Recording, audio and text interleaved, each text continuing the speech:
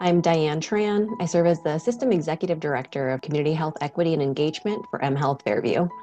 And I met Dr. Mustapha about two years ago when we started to work together serving on the Hope Commission along with Dr. Christopher Warlick as an effort to help M Health Fairview become an increasingly anti racist, diverse, and inclusive institution.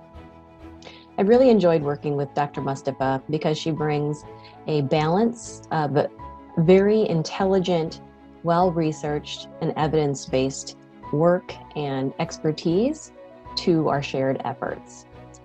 She is also able to bring a sense of warmth, humility, and personal passion to the work that she does.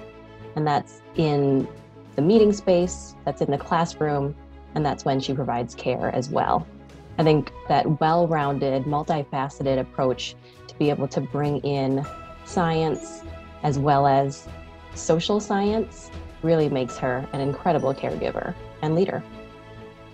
Dr. Mustapha is able to bring a sense of street smarts as well as book smarts to the work that she does and in the conversations that she has.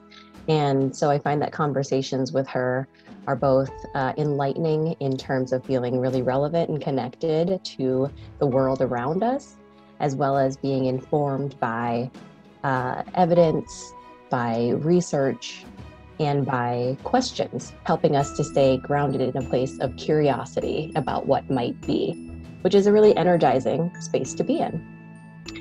So, for all of those reasons and more, I want to say congratulations, Dr. Mustapha. It is a pleasure to work with you, and your leadership and vision is appreciated in so many different spaces. Congratulations. Thank you.